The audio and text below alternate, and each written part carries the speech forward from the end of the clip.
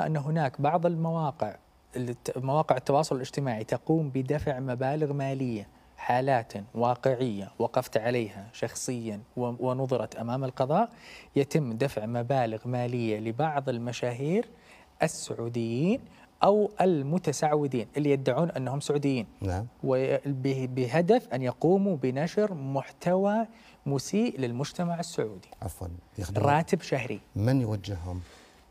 بعض الشركات والشركات هذه تخدم أجندة مين؟ تخدم أجندة من يحارب المملكة العربية السعودية اقتصاديا سياسيا اجتماعيا إذا انحل المجتمع يا أخوي خالد انحل كل شيء المجتمع السعودي يضرب فيه المثل في كافة دول العالم بترابطه وبتكاتفه وبحفاظه على قواعده وعلى عاداته وعلى وعلى آه، تقاليده.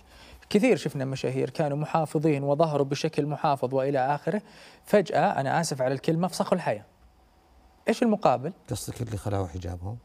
كل شيء. حتى اللي كان يطلع يقول لك يا أخي أنا مستحيل مستحيل أجلس مع مرأة على طاولة واحدة. والآن نشوفهم في التيك توك يعني بث يعني أقل ما يقال عنه إباحي.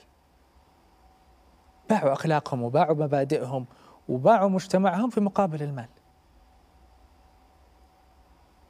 فليس الهدف هو فقط غسل الأموال وأنه مثلا يبغى يدخل أموال لا لا لا. هو الهدف مصالح شخصية إيش وش مقابل هذه المصالح الشخصية إنه يتضرروا والله عيال البلد الأطفال اللي موجودين وينشأ جيل فاسد أو ينشأ ينشا جيل منحل أو كذا ما فرق عنده. أنا أهم شيء عندي إنه يدخل في رصيدي في حسابي مبلغ وقدره كذا طب المبلغ هذا من وين جاك؟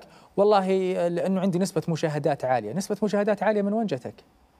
من المحتوى المنحل.